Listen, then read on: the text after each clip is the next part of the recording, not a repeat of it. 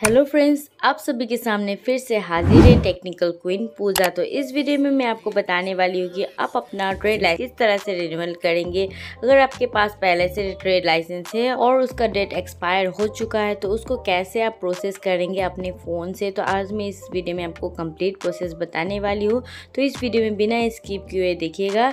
तो इसको करने से पहले आपको पुराना वाला जो पीडीएफ है ट्रेड लाइसेंस का, उसको रेडी करके रख लेना है पीडीएफ फॉर्मेट में, ठीक है? तो बस इतना ही काफ़ी है आपके लिए रिन्यूअल करने के लिए।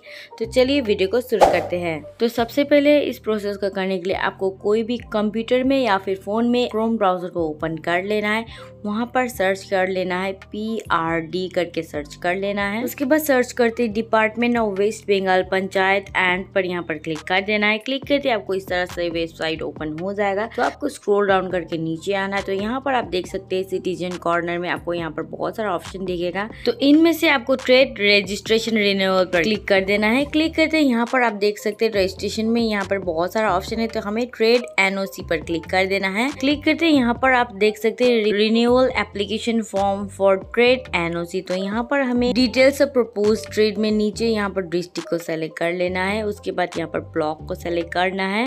उसके बाद हमें ग्राम पंचायत को सेलेक्ट कर लेना है। उसके बाद यहाँ पर रजिस्ट्रेशन नंबर टाइप कर देना है। उसके बाद यहाँ पर सर्च पर क्लिक कर देना है। क्लिक करते ही आपका यहाँ पर डिटेल्स इस तरह से यहाँ पर ओपन हो जाएगा तो यहाँ पर आप देख सकते हैं इनका नाम वाम सब यहाँ पर शो करने लगा है अब यहाँ पर हमें यहाँ पर रिन्यूअल करने के लिए यहाँ पर ऑलरेडी ऑप्शन यहाँ पर रिन्यू कर दिया गया है तो इस पर हमें क्लिक कर देना है क्लिक करते आपका डिटेल्स यहाँ पर इस तरह से ओपन हो जाएगा यहाँ पर आप देख सकते application form for NOC registration तो यहाँ पे हमें नीचे में यहाँ पर एड्रेस ऑफ़ एप्लीकेंट में हमें यहाँ पर विलेज यहाँ पर दे देना है उसके बाद सांसद पारा उसके बाद पोस्ट ऑफ़िस यहाँ पर टाइप कर देना है उसके बाद पुलिस स्टेशन यहाँ पर टाइप करना है उसके बाद यहाँ पर पिन कोड भी एंटर कर देना है, ठीक है? उसके बाद यहाँ पर आप देख सकते हैं ऑर्गेनाइजेशन डिटेल्स में ऑलरेडी यहाँ पर फिल रहेगा। अगर आप चेंज करना चाहते हैं तो यहाँ पर चेंज कर सकते हो या फिर ऐसे ही रहने दे सकते हो। उसके बाद यहाँ पर कैटेगरी में आपको फ़ीस कैटेगरी में आप क्लिक करेंगे तो यहाँ पर बहुत सारा ऑप्शन दिखेगा। तो यहाँ पर क्लिक करने के बाद जब आप क्लिक करेंगे नॉट पेइंग प्रोफेशनल फ़ी पर तो यहाँ पर वन फिफ्टी रुपीज़ चार्जेस दिखा रहा है। तो अदर्स में क्लिक करेंगे तो यहाँ पर थोड़ा ज़्यादा दिखेगा।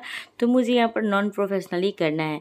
उसके बाद हमें यहाँ पर सर्टिफिकेट अपलोड करने के लिए चूज़ फ़ाइल पर क्लिक करके पुराना वाला सर्टिफिकेट अपलोड कर देना है उसके बाद प्रोसेस पर क्लिक कर देना है क्लिक करते अब आपका यहाँ पे इस तरह का इंटरफेस शो होगा तो यहाँ पर आप देख सकते हैं तो इस तरह का your application has been successfully save यहाँ पर हो चुका है अब आपको यहाँ पर एक्नोलेजमेंट नंबर दिया गया है उसके बाद आपको यहाँ पर मेक पेमेंट करना है पेमेंट करने के बाद आप यहाँ पर डाउनलोड भी यहाँ पर स्लिप कर सकते हो पेमेंट कर देने के बाद अब यहाँ पर आप देख सकते हैं मनी रिसिप्ट भी डाउनलोड कर सकते हो उसके बाद यहाँ पर सर्टिफिकेट डाउनलोड करने का एक ऑप्शन भी यहाँ पर देखेगा यहाँ पर क्लिक करते आपका सर्टिफिकेट कुछ इस तरह से डाउनलोड हो जाएगा। सो so फ्रेंड्स जितना प्रोसेस था, मैंने कंप्लीट प्रोसेस यहाँ पर आपको बता दिया। स्टेप बाय स्टेप जस्ट आपको फॉलो करना है। तो आई होप आपको ये वीडियो पसंद आया तो प्लीज़ इस वीडियो को लाइक करना मत भूलना। और चैनल में नए तो टेक्निकल क्वीन पूजा को सब्सक्राइब करना मत भूलना। तो मिलते हैं इसी तरह के हेल्पफुल इन्फॉर्मेटिव वीडियो के साथ नेक्स्ट वीडियो में। तब तक ले बाय